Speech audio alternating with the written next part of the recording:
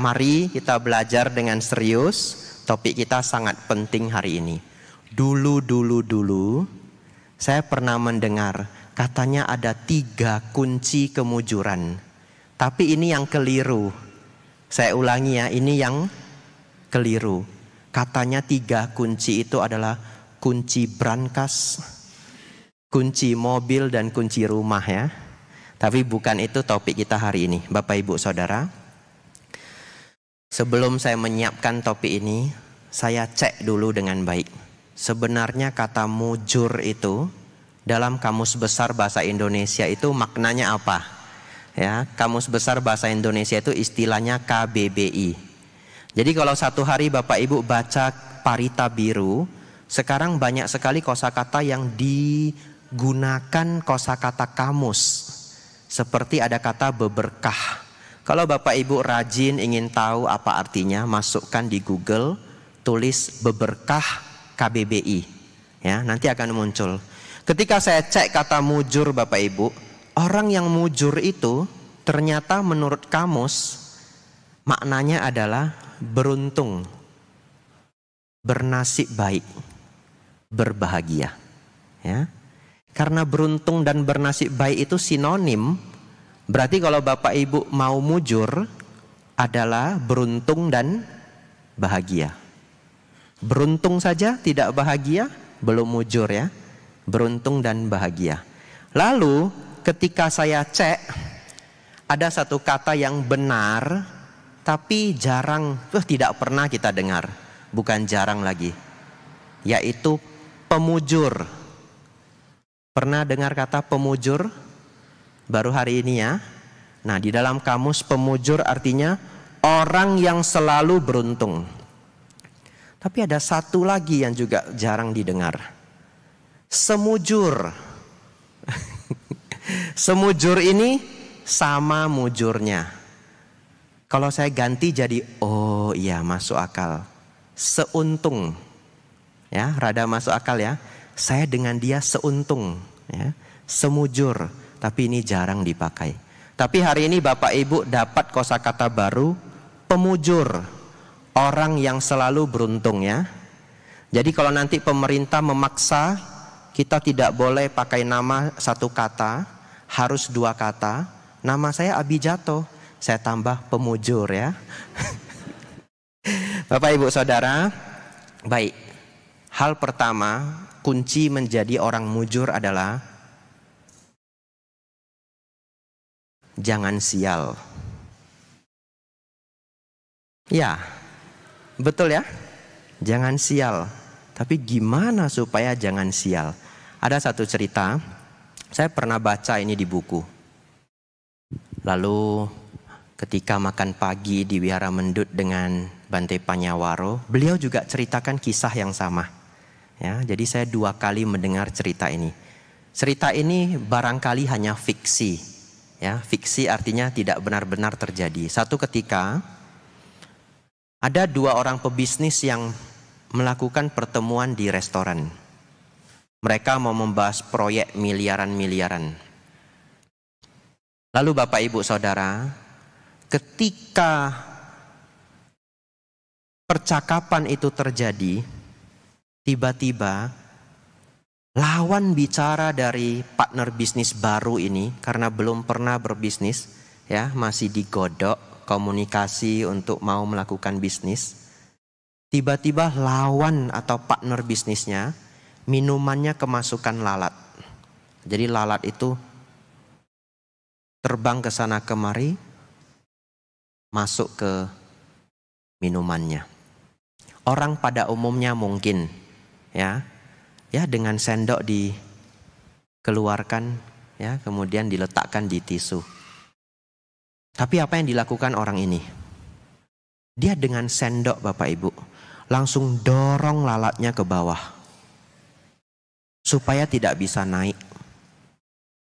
Dan dia belum puas juga, dia aduk-aduk airnya itu. Berusaha agar lalatnya itu terperangkap dalam pusaran air. Dan akhirnya apa? Lalat itu mati.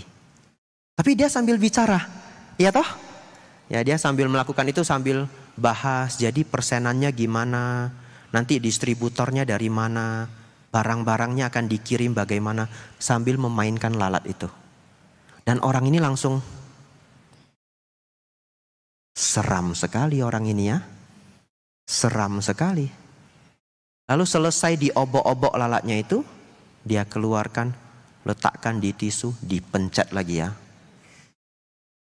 Bapak Ibu, melihat keseraman, kengerian dari tindakan sekecil itu, ya kita tidak cerita dhamma dalam hal ini. Bagaimana dalam suasana bisnis? Ya siapa yang memikirkan masalah lalat dengan bisnis miliaran? Begitu ya. Bapak Ibu bayangkan masalah bisnis miliaran dengan lalat apa hubungannya? Tapi tidak. Kenyataannya adalah melihat seseram itu, orang ini langsung mundur. Ya, bisnisnya batal. Itu namanya apa? Kesialan. Betul? Tapi siapa yang membuat kesialan itu? Diri sendiri. Bapak Ibu Saudara, kunci kemujuran yang pertama, jangan sial. Supaya jangan sial, rawat sila dengan baik. Ya. Rawat sila dengan baik. Ketika saya sekolah dulu, Ya, semoga orangnya tidak tapi saya tidak sebut namanya, jangan khawatir ya.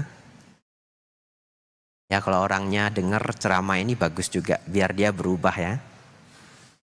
Dulu ada penjual tok-tok. Orang Medan ngerti tok-tok ya. Ini ada online-nya, nanti yang di online tidak tahu tok-tok itu apa ya. Bapak ibu saudara dulu ada penjual tok-tok. Jualannya laris luar biasa Nggak usah dicari orangnya ya. Orangnya laris luar biasa jualannya. Lalu setiap dia selesai dagang, dia cepat-cepat pergi ke warnet. Main game. Seru sekali. Saya bahkan masih hafal nama gamenya. Tapi kalau saya sebut nanti semakin spesifik Bapak Ibu cari orangnya ya. Ya enggak tahulah game apa ya, enggak usah diberitahu. Jadi setiap kali dia berdagang dia laris minta ampun cepat-cepat selesai dagangan habis pergi main warnet. Satu ketika dia main dengan anak-anak. Anak-anak SD ya, main dengan anak-anak SD. Selesai main dia tidak puas. Entah apa yang mereka ributkan. Tapi intinya dia tidak puas. Karena ini orang sudah hampir umur 30 waktu itu main dengan anak SD dia tidak puas, pas pulang anak itu dia tampar. Ya. Mungkin mainnya jelek atau mungkin anak itu berkata kasar tidak tahu. Anak itu dia tampar Bapak Ibu. Lalu selesailah kejadian itu. Ternyata anak itu adalah anak dari aparat negara. Lalu penjual tok-tok ini akhirnya gol masuk penjara. Ya, saya sudah lupa apakah delapan bulan, apakah satu setengah tahun, saya sudah lupa. Lalu dia pasti menganggap dirinya sial betul. Dari ratusan anak yang setiap hari dia ketemu, kenapa yang dia tampar ini bisa anak aparat negara? Kenapa bisa? Oh saya sial. Tidak. Sial itu siapa yang buat sendiri? Dirinya yang membuat sendiri. Kenapa dia menampar anak orang lain? Itulah gunanya Bapak Ibu tadi mengambil sila panatipata weramani. Saya melatih diri untuk tidak membunuh. Tapi Bapak Ibu ingat tidak hanya tidak membunuh. Janganlah menyakiti orang lain. Ya. Bapak Ibu rawatlah sila dengan baik. Mengingat ini pesan singkat sebelum kita lanjut ke kunci selanjutnya. Bapak Ibu ingat ini pesan singkat saya. Kalau Bapak Ibu di jalan bawa motor, bawa mobil, berusahalah jangan ribut dengan siapa pun ya. Belajar bersabar. Kenapa? Anda tidak tahu yang di jalan itu adalah siapa. Betul? Itu sangat random. Anda bisa ketemu orang baik, orang jahat, orang sangat jahat. Anda tidak pernah tahu. Belajarlah bersabar. Bagaimana belajar bersabar Bante? Ikuti poin-poin selanjutnya ya. Bapak Ibu Saudara, kunci yang pertama, langkah awal kemujuran adalah belajar untuk tidak sial dengan merawat sila. Poin selanjutnya, Setelah kita belajar tidak sial dengan merawat sila dengan sangat baik, kita mulai mengembangkan kemujuran ya. Mengembangkan kemujuran Bapak Ibu. Nah, ada kisah nyatanya ya. Dulu saya pernah tinggal di Tangerang Bapak Ibu. Di Tangerang, wihara kecil-kecil kecil-kecil banyak sekali. Banyak sekali. Jadi kalau kita pembinaan di wihara di Tangerang itu cukup melelahkan. Banyak wihara-wihara kecil. Jadi Senin, Selasa, Rabu itu ada puja bakti. Kalau mereka hanya meminta minggu, bikunya tidak cukup. Jadi akhirnya ada yang memilih puja baktinya Rabu malam, Kamis malam dan sebagainya. Lalu ada seorang umat perumah tangga rajin sekali menjemput saya. Sampai dia minta ke wihara, ke pihak wihara. Pak Bu, kalau Biku Abijato mau ke mana, saya yang ngantar ya. Ya tolong ya, saya yang ngantar. Ya mereka mengizinkan dia yang ngantar. Jadi setiap saya mau ke mana, bapak itu yang ngantar. Mungkin dua minggu sekali, seminggu sekali dia dapat kesempatan. Karena kadang-kadang kami berangkat dengan supir wihara. Ya, dia mengantar. Lalu saya ikut saja mengantar satu kali, dua kali. Dan setiap kali dia mengantar saya itu senangnya itu melebihi orang lain. Bante, terima kasih sudah mau saya jemput. Saya senang sekali ya anumodana, anumodana sebagai biku ya, anumodana, anumodana. Dia senang bukan kepalang. Setelah waktu yang cukup lama Bapak Ibu, akhirnya satu ketika dia buka kartu Bapak Ibu. Saya diantar ke wihara, wiharanya saya lupa namanya, saking banyak wiharanya, tapi wiharanya pinggir sungai Bapak Ibu. Pulangnya sudah mau dekat wihara dia cerita, Bante, saya mau cerita Ya Pak silakan. Sebenarnya Bante, senang sekali saya jemput Bante. Kenapa? Karena setiap saya jemput Bante, besok mobilnya laris. Dia jual beli mobil Bapak Ibu ya. Wah rupanya saya ini biku penglaris bagi dia ya. Waduh saya bingung juga Bapak Ibu ya. Jadi senang sekali saya Bante setiap mobil yang saya jemput Bante seminggu keluar Bante.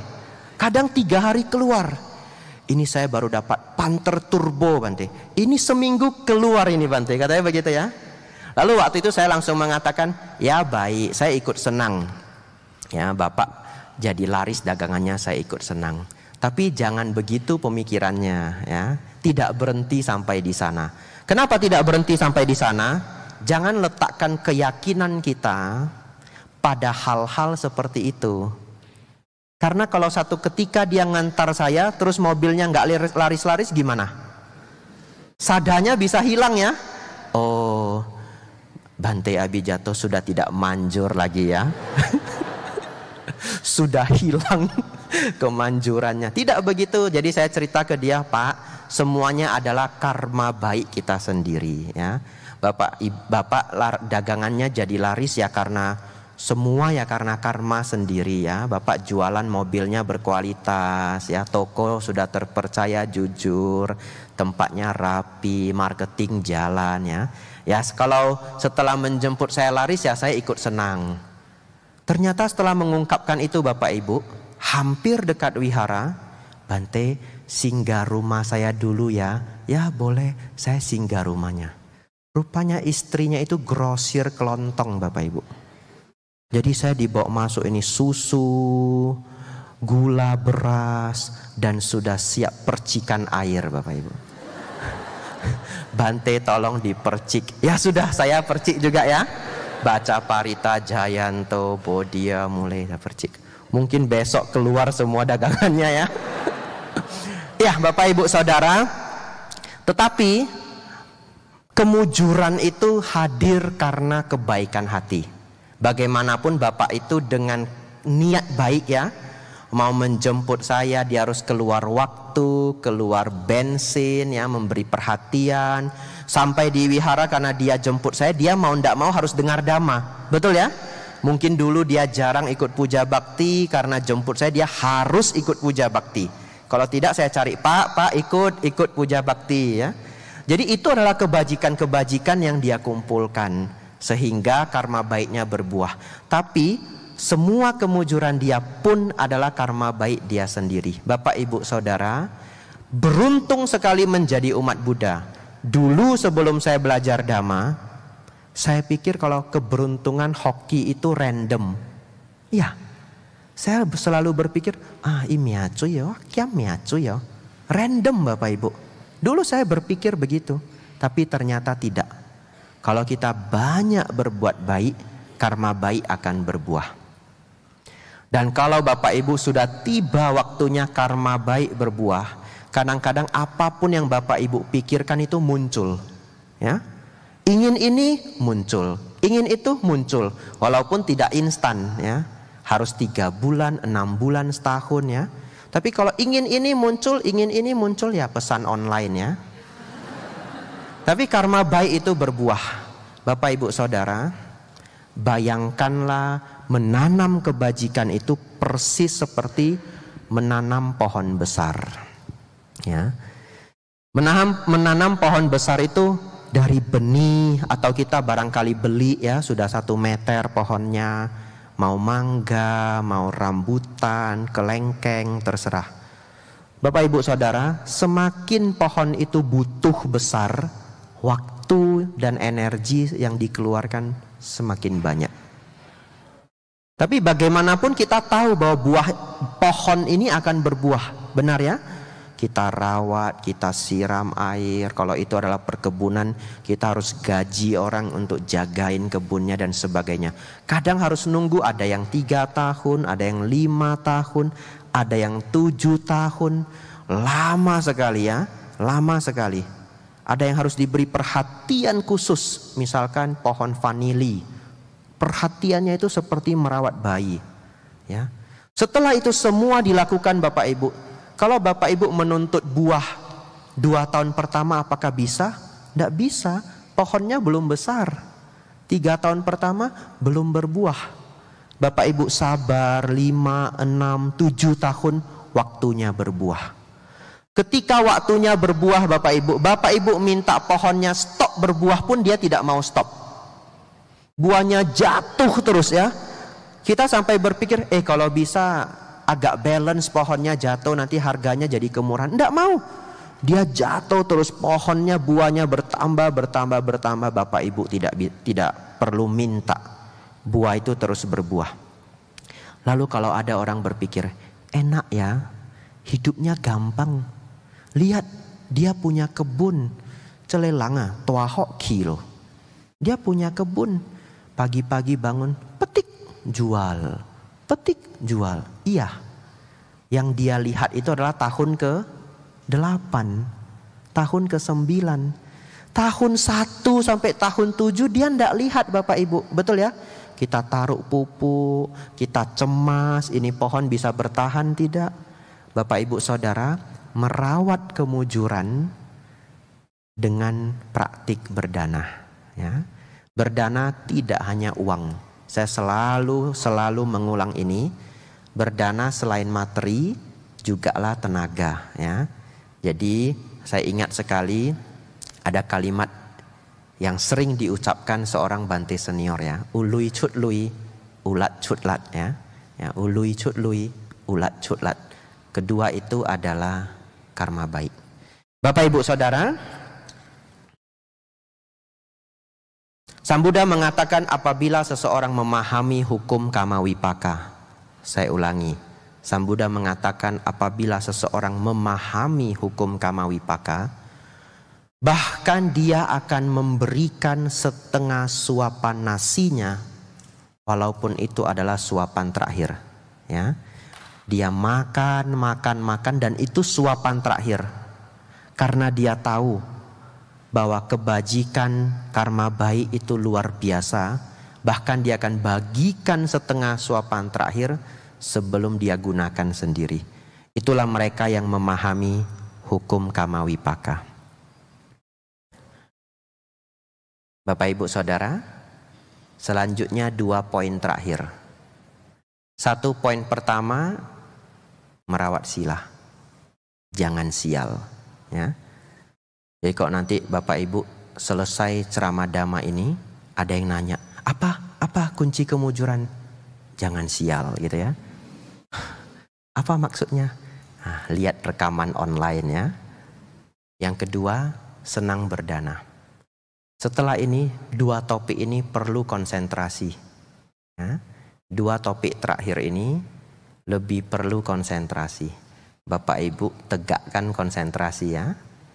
Masih semangat Bapak Ibu? Masih semangat ya.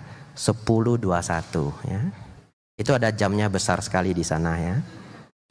Ya. Jadi Bapak Ibu kalau mau tahu kenapa dari tadi saya pantau jamnya ya, karena ceramah itu ada limitnya. Ceramah yang baik itu lebih kurang 40 menit. Jadi kan poinnya 4. Ya, lebih kurang masing-masing 10 menit ya. Bapak Ibu Saudara, Dua poin selanjutnya ini sangat penting. Poin selanjutnya. Tahun 1972 ada seorang profesor dari Universitas Stanford ya. Stanford itu universitas top 5 dunia. Dia melakukan eksperimen yang unik sekali dan akhirnya eksperimen ini saat ini jadi sangat terkenal. Nama eksperimennya kalau yang nama sulitnya adalah delayed gratification. Gratifikasi yang ditunda. Tapi nama kerennya adalah marshmallow effect. Ya, efek marshmallow, ya, atau marshmallow research. Marshmallow experiment. Bapak Ibu Saudara, mereka mengundang anak-anak kecil masih TK ya, umur-umur TK, dikumpulin Bapak Ibu. Kemudian diberikan eksperimen. Apa eksperimennya? Eksperimennya adalah begini.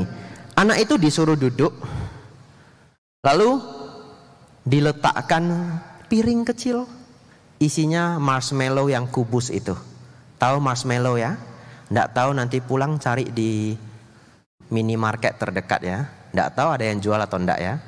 Tapi marshmallow itu permen yang lembut-lembut. Ya. Taruh satu marshmallow, lalu mereka ngomong ke anak ini begini, kamu harus tunggu 15 menit. Ya, nanti 15 menit lagi kami balik. Jangan dimakan. Itu adalah eksperimennya. Lalu anak itu nunggu sampai uring-uringan. Ya, banyak yang tidak berhasil. Wah, anak TK disuruh nunggu marshmallow satu ditinggalin. Ruangan tidak ada orang ya. Ya, tidak banyak yang tidak berhasil. Tapi beberapa itu benar-benar menunggu. Dia menunggu sampai 15 menit dan berhasil. Kalau berhasil ditambahin satu. Nah, senang sekali ya. Eksperimen yang kedua diberitahu. Kasih sepiring marshmallow satu, dikasih tahu, "Dek, kamu nunggu 15 menit ya. Kalau berhasil nanti marshmallownya ditambahin satu." Itu pun masih ada yang tidak berhasil. Tidak sanggup dia menahan diri 15 menit. Padahal satu jadi dua. Lalu ini kan penelitiannya tahun 1972. Bapak Ibu boleh cari ini namanya Marshmallow Experiment. Nanti cari setelah ini ya, jangan cari di sini. Pulang cek Google. Akhirnya mereka melihat setelah puluhan-puluhan tahun, minimal 30 tahun baru bisa terlihat jelas atau 20 tahun, 25 tahun mulai terlihat jelas. Ternyata anak-anak yang dulu bisa sabar ya, Dulu bisa sabar nunggu 15 menit jadi orang yang lebih sukses. Aneh ya?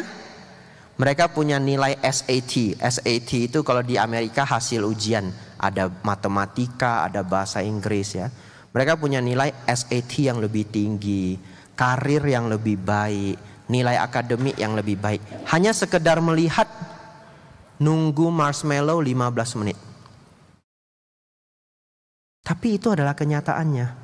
Ternyata salah satu kunci mujur adalah belajar sabar. Ya. Belajar sabar. Karena orang yang tidak sabar pun bisa sial. Ya. Kalau sabar bisa menjadi lebih mujur. Kenapa demikian? Karena Bapak Ibu ketika menanam kebajikan pun sehari demi sehari, sehari demi sehari dilakukannya dengan kesabaran semuanya akan berbuah jauh lebih besar.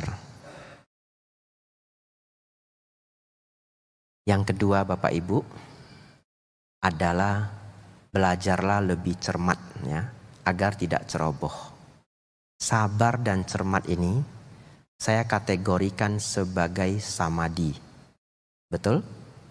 Kalau Bapak Ibu belajar meditasi, apa efeknya? Sabar. Ya.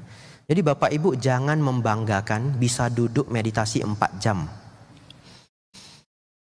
Nah, tiam mulai. Cek kau ji tiam pua, mencak tiong tahu ya. Tapi begitu bangun marah-marah, ada gunanya? Tidak ada gunanya. Banyak orang tidak tahu bahwa kualitas dari kita bermeditasi bukan hanya dinilai dari seberapa sering ikut retreat. Ya, tetapi seberapa rendah dosa loba moha Bapak Ibu. Ya. Dan salah satu yang paling terasa manfaatnya setelah kita praktek samadhi, paling terasa adalah menjadi sabar. Kalau Bapak Ibu sudah mulai menjadi sabar, hidup menjadi sangat indah. Kenapa? Karena Bapak Ibu setiap hari pun harus menunggu. Betul tidak?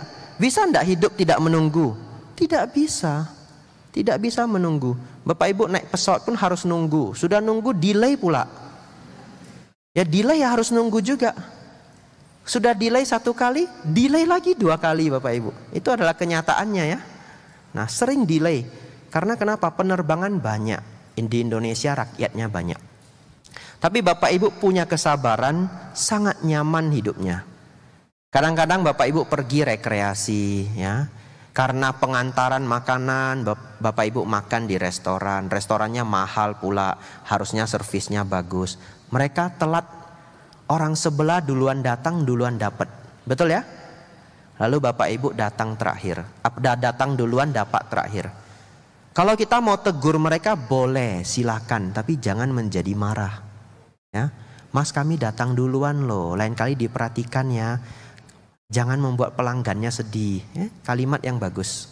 Tapi kita tidak marah. Tapi ada orang yang menjadi marah. Gara-gara marah, dia jadi bad mood setengah hari. Dan suasana rekreasi itu jadi mencekam, betul ya? Karena tidak sabar lima menit, rusak setengah hari. Untung atau rugi Bapak Ibu? Rugi. Mujur atau sial? Sial. Lalu katanya apa? Aneh soya kinajida. Sial sekali hari ini. Tidak sial, itu hanya lima menit ya. Jadi kalau dia ingat sama di, telat sedikit, kesal muncul, nafas masuk, nafas keluar. Dua menit selesai. Ya, tidak harus berpikir, eh kinajit anesoi. Tidak perlu. Eh kinajit utampok su. Biakinlah. Itu ya. Ya ada sedikit kerikil dalam hidup itu wajar. Tapi gimana Bante? Supaya samadi saya bagus. Gimana Bapak Ibu supaya samadinya bagus? Ikut kelas samadi nanti jam 1 siang ya. ya benar ya. Tadi saya diberitahukan panitia Bante nanti jam 1 ada meditasi sampai jam 3. Bapak Ibu Saudara, khusus hari ini khusus hari ini ya, saya akan menjelaskan penjelasan meditasi dari awal. Bagi yang tidak pernah meditasi seumur hidupnya, datang nanti jam 1. Ya. Tidak sulit penjelasannya, sangat bagus. Saya jelaskan tidak pakai kata-kata sulit.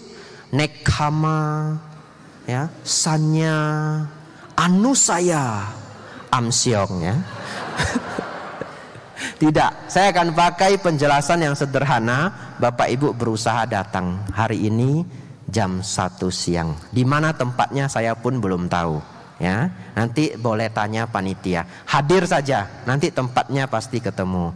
Kita akan, saya akan berikan penjelasan meditasi lebih kurang setengah jam dari nol. Tidak perlu khawatir dan tidak sulit. Setelah itu kita akan bermeditasi sekitar 45 menit. Tadi satu jam. Saya minta ke panitia hari ini korting 15 menit. Demi yang baru datang ya. Jadi kalau yang sudah Bante saya bisa biasanya meditasi 4 jam. Bocak tiong tahu pun biaukin. Lanjut di rumah ya. Hari ini 45 menit. Setelah itu kita tutup dengan tanya jawab ya sampai sekitar jam 3. Bapak Ibu hadir kelas samadhi nanti. Satu poin ini saya ingin menambahkan. Sering saya ceritakan juga di mana-mana agar Bapak Ibu menjadi lebih sabar kalau Bapak Ibu sudah akan marah, cepat-cepat nafas masuk, nafas keluar. Tenang, rileks dan nyaman. Karena umumnya kita marah itu nafas kita berat. Betul? Ya. Nanti pas marah catat sendiri ya. Ya. Orang marah itu tidak pernah kamu ini ya Sudah saya bilang, tidak mungkin. Marah itu nafasnya pendek dan berat. Tapi Bapak Ibu lawannya dengan kebiasaan baru. Begitu mau marah, nafas rileks, tenang dan nyaman. Selambat apa? Senyaman kita. Ya, tidak perlu menutup mata. Ya, jangan jangan nanti sedang ada orang yang mengkritik kita, Ya, semakin Bapak Ibu dimarahi ya. Kalau itu bos sendiri dipecat Bapak Ibu ya. Ya. Bapak Ibu Saudara, praktekkanlah nafas. Tapi kalau ada waktu nanti yang lengkapnya datang jam 1 siang. Bagian terakhir. Hari ini empat kunci kemujuran ya. Sila, dana, samadhi, panya. Ya. Klasik sekali yang saya jelaskan. Tapi memang ini Bapak Ibu nanti pulang tidak ada kunci yang lain, ya. Klasik. Sila, dana, sama dipanya. Tapi kalau Bapak Ibu buka parita biru, di sana ada Manggala Suta. 38 berkah. Kalau 38 berkah itu diurai, yaitu adalah sila, dana, sama dipanya. Poin terakhir panya sangat berguna. Mari kita dengarkan 10 menit terakhir. Bapak Ibu Saudara, salah satu panya adalah satu ketika ya, ini juga cerita fiksi. Ada seorang ahli ekonomi di Amerika. Dia buat cerita seperti ini. Ada sekelompok kecil warga tinggal di daerah padang pasir tapi bukan di tengah padang pasir. Mereka tidak akan hidup. Tapi padang pasir yang masih agak dekat ke desa, ah itu 40 menit ya. Ya. Tidak apa-apa ditutup dulu. Ya. Setelah itu konsentrasi lagi ya. Baik Bapak Ibu Saudara, sekelompok kecil warga ini tinggal di daerah dekat padang pasir. Lalu karena kekhawatiran, mereka hidup sangat melarat, ya, sulit mendapatkan makanan, sulit mendapatkan air. Lalu tumbuhlah iba, simpati dari masyarakat, sering mengirimkan makanan, mengirimkan air, begitu ya. Dan sudah berjalan bertahun-tahun Bapak Ibu, mereka toh belum sejahtera-sejahtera. Hidupnya begitu-begitu saja, ya. Bapak Ibu tahu kenapa? Karena bantuannya salah. Harusnya bantuannya apa? Bus Bapak Ibu. Kirim bus. Hah? Kirim bus. Iya. Suruh pindah. Ngapain tinggal di padang pasir, betul? Pindah. Jangan tinggal di sana. Tidak ada makanannya, tidak ada airnya. Ya ini hanya analogi, sebuah cerita fiksi. Tapi itu menjawab apa yang ada di Parita Biru bertempat tinggal di tempat yang sesuai adalah berkah utama ya sudah tahu itu padang pasir tidak ada air tidak ada makanan pindah masa 10 tahun belum pindah pelan-pelan maju dong ya. Setahun maju setahun maju setahun maju ya akhirnya mendekat dengan desa. Itu hanya analogi tapi Bapak Ibu renungkan sendiri apa maksud di dalamnya. Bapak Ibu Saudara Panya agar Bapak Ibu menjadi orang mujur adalah Asewana cak balanang pandita nancak sewana. Bergaulah dengan orang bijaksana, jangan bergaul dengan orang bodoh. Bapak ibu saudara, kesialan itu nular, bukan hanya covid. Ya, iya benar. Kesialan itu nular.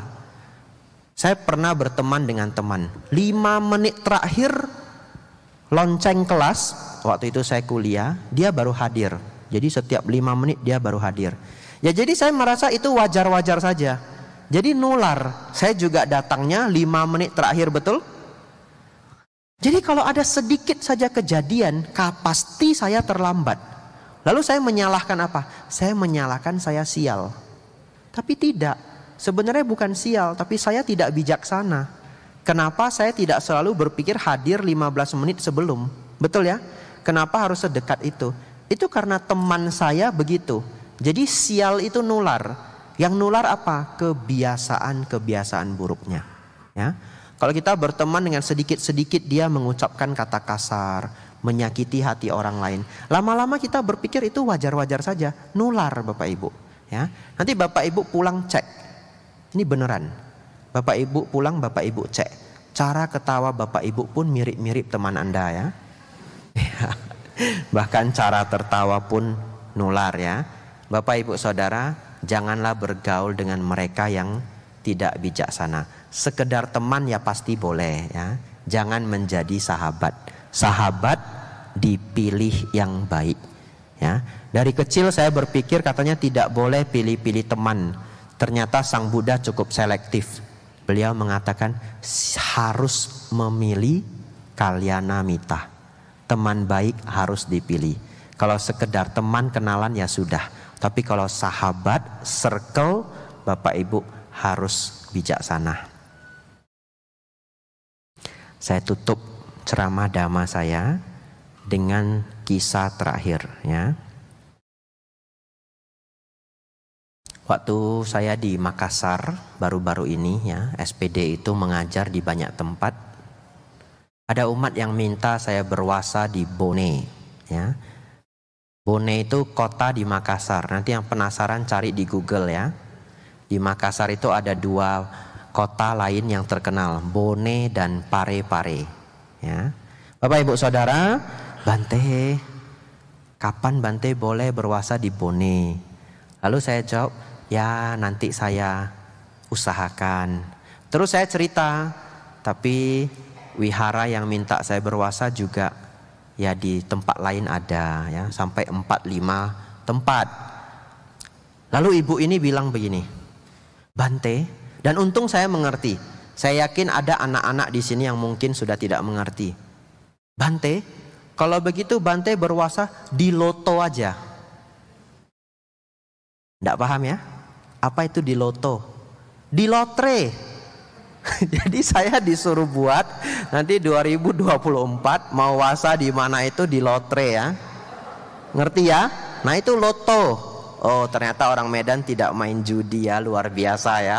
Wah salut untuk semua ya. Loto itu adalah sejenis bingo ya di Amerika. Bapak Ibu Saudara, kenapa saya mengangkat ini? Ada dua hal. Yang pertama adalah ada sebuah penelitian sangat terkenal mereka mencoba meneliti orang yang terkena menang lotre dibandingkan dengan mereka yang kehilangan anggota tubuh karena kecelakaan. Ya. Kita dengarkan dengan serius karena eksperimen ini cukup serius. Jadi Bapak Ibu Saudara, mereka membandingkan yang pertama mereka yang menang lotre. Saya tadi baca, sebelum ceramah ini saya baca lagi jurnalnya. Yang menang lotre itu mereka pilih 22 orang. Dari salah satu provinsi di Amerika. Kalau Bapak Ibu sangat penasaran nanti pulang cari tulis lottery winner and accident victims journal. Langsung keluar.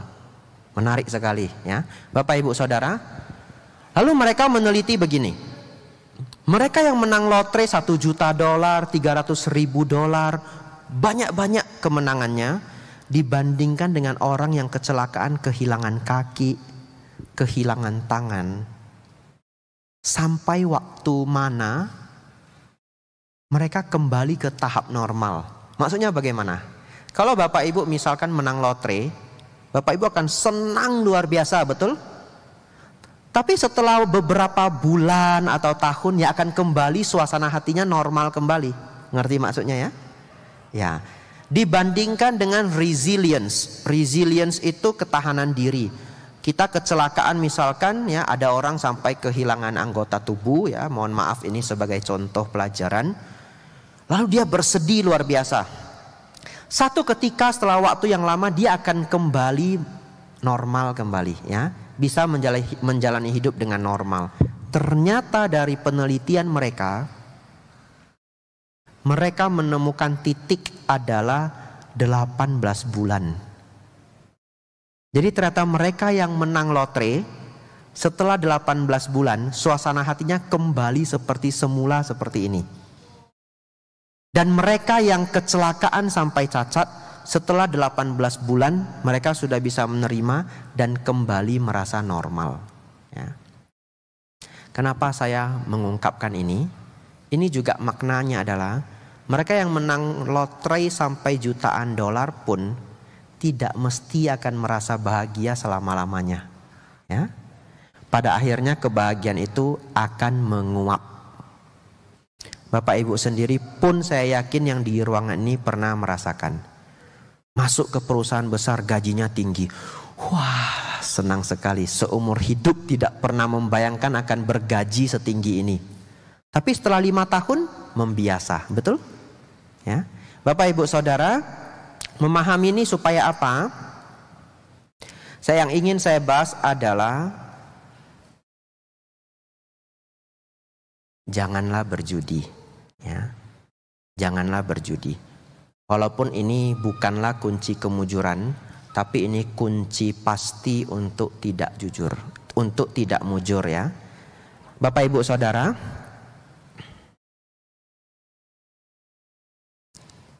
ada matematikawan menghitung berapa kesempatan seseorang itu tersambar petir dalam satu tahun. Dia menghitung satu banding 1,2 juta kemungkinan. Ya. Jadi katanya yang tersambar petir dari 1,2 juta manusia satu dalam setahun. Ini perhitungan matematikawan. Ya. Lalu dia juga menghitung berapa kesempatan menang lotre. Di Amerika ada lotre namanya Powerball. Ya. Ternyata kesempatan menang satu banding 292 juta. Dari 20, 292 juta orang yang kalah, satu orang yang menang. Lebih sulit menang lotre daripada kesambar petir. Betul ya? kesambar petir 1,2 juta yang kesambar satu menang lotre 292 juta kalah satu orang menang. Powerball ya. Salah satu jenis permainan di Amerika. Bapak Ibu Saudara orang bijak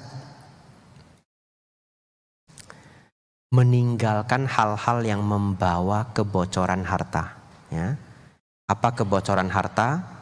Prostitusi mabuk-mabukan, judi, teman yang buruk.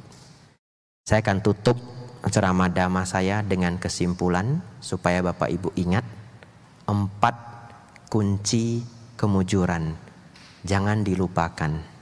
Yang pertama adalah sila, yang kedua adalah dana, yang ketiga adalah samadhi, yang keempat adalah panya. Kembangkan empat ini Bapak Ibu, Bapak Ibu akan bahagia. Kemujuran tidak hanya soal uang. Bapak Ibu menang lotre pun setelah 18 bulan membiasa. Ya. Kejarlah kebahagiaan-kebahagiaan yang lebih stabil. Ya.